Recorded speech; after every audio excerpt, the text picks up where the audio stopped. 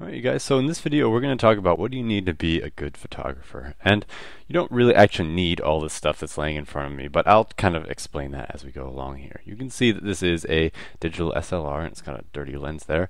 Um, and so it's got a separate lens and it also comes with a charger and a cable and all that kind of stuff.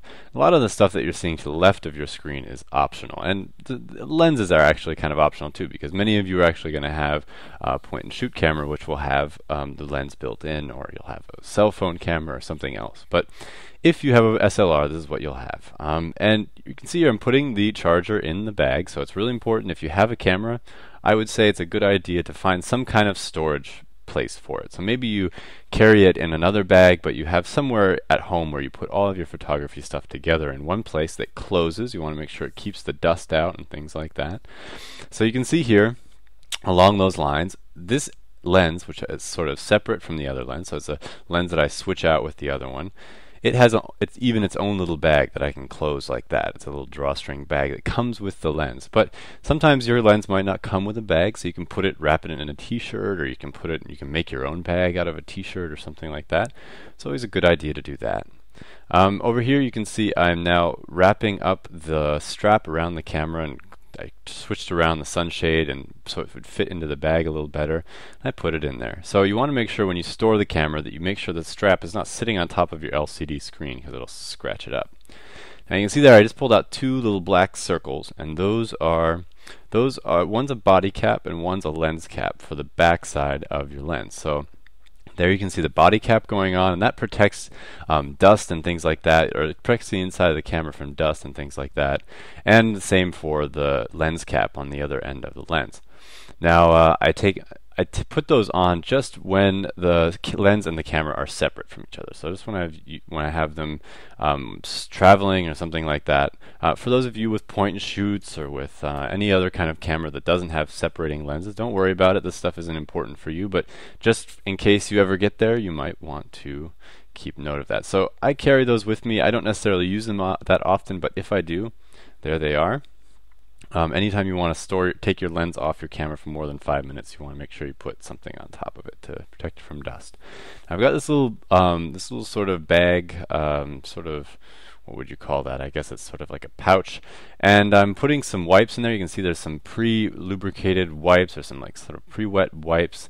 And then there's some um, optical glass cleaner, which is that blue sort of little square you saw go in there. And there you saw a brush and some cleaning fluid. Now these things are all really important if your camera gets dirty. Right there you just saw a second brush, which is sort of the body brush. If you've seen the cleaning sections of this um, lesson, you'll see that um, what the purpose for that is. Now I've got these two different um, towels here. Um, well, I guess they're cleaning rags. Uh, the one is uh, the one on my that I'm holding right there at this very moment is actually a dirty one that I it's an old, old one that I've used. It used to be a lens cleaning cloth that now I use for cleaning the bodies of the camera. Not it never touches optical glass anymore, but it's just for the body. And you can see I'm having trouble fitting it inside my little tiny pouch there. All right, so now I think we'll be able to get that closed. Now that other one sitting in the front there is actually for cleaning lenses, um, and I don't. Uh, so I don't try not to. I try to keep those two things separate um, because if there's anything inside of that inside of that cleaning cloth, it can scratch your lens.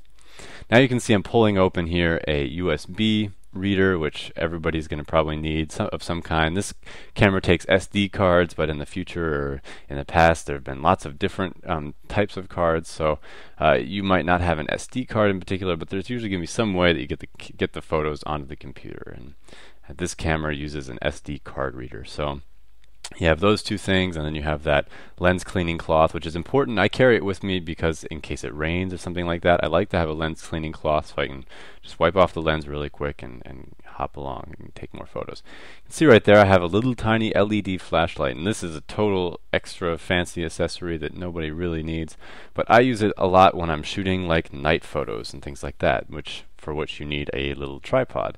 Um, you can get a much, much bigger tripod, but you can start with this little, you know, like $2 tripod that I bought like at um, a little, little camera shop the other day. So there you go. You've got pretty much everything you need to do everything from really basic fun photography to serious night photography, everything you need in case you hit some bad weather or your camera gets a little dusty or dirty. And it all fits inside of one really nice looking little bag that I picked up at an old camera shop. So um, you can you don't need to have all that stuff, but uh, it's it's going to help you in your journey. So don't feel like you have to go out and spend all the money right away, but maybe this is your kind of dream kit of someday. So. All right, so that's the end of this lesson. Uh, we're going to be moving on to some of the more technical aspects of shooting and get into some um, techniques and things like that that will help you uh, become a better photographer.